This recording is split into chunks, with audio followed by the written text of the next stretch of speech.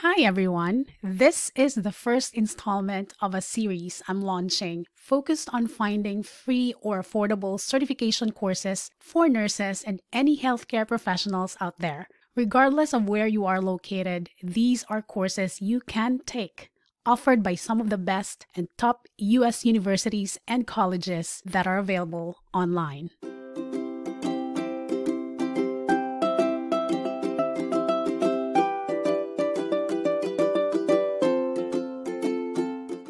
Certification courses can provide a great boost to your resume. It allows you to show your current or future manager that you have the skills and knowledge required for the job.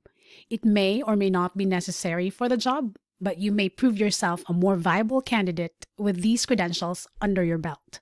So let's go. Here we have COVID 19 Effective Nursing in Times of Crisis, offered by Johns Hopkins School of Nursing. Duration is two weeks, two hours of weekly study time, 100% online, learn at your own pace. You can see here the course overview, the topics, start dates, and you can see it's available now and you can click join today. Requirements. So this course is designed for nurses and other healthcare professionals working with COVID-19 patients or wanting to learn more about how to provide quality care with limited resources in times of crisis. The educators, what is included, and of course, you're going to get a PDF certificate of achievement to prove your success when you are eligible. Next, we have mechanical ventilation for COVID 19 offered by Harvard University. So it says here free. This is one week long and requires two to five hours per week of time commitment, self paced. And you will see here the course description, the instructors, details on what you will learn, and of course, the direct link to take the course. The platform they are using to host the course is EDX, so it will lead you to a different landing page. Then, if it's your first time to access the platform, it will require you to set up the account first. And once you're in to access the course, this is what you're going to see. And you also see course handouts on the right. There are different dates. You also see very helpful the frequently asked questions section. Now, going back to the accreditation tab, very important here are some of the credits that you can earn by completing this activity for physicians and for nurses. It is also important to note that you can only get your certificate if you score at least 75% on the post test.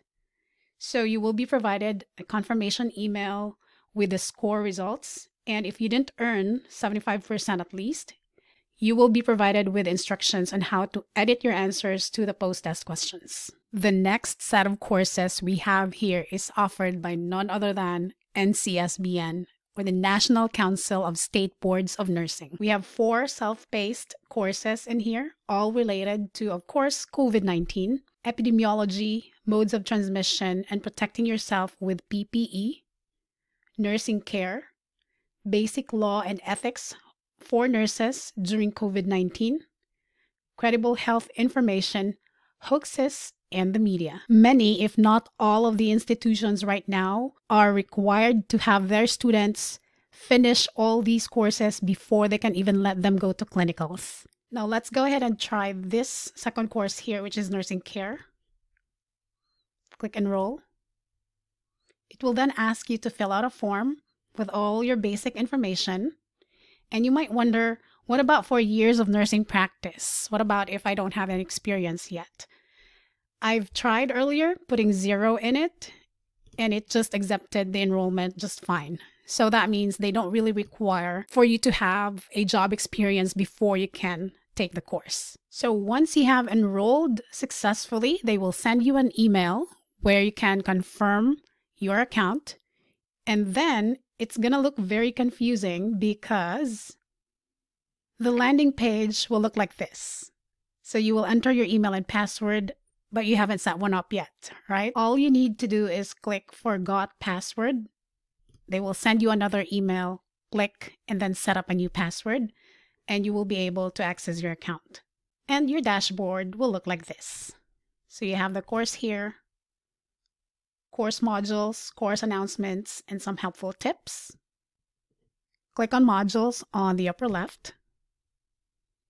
And the course begins here.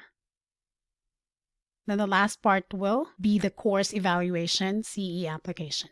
Once you have successfully finished the course, you can go to badges and you will earn your course badges in here. So obviously I don't have it yet because I haven't started the course as of recording of this video. So there you go. All right, guys. So this is only part one. Stay tuned and subscribe for more of this. I'll be on the lookout for any other helpful tips that I can find for you nurses and healthcare professionals out there. I'll see you guys in my next tutorial.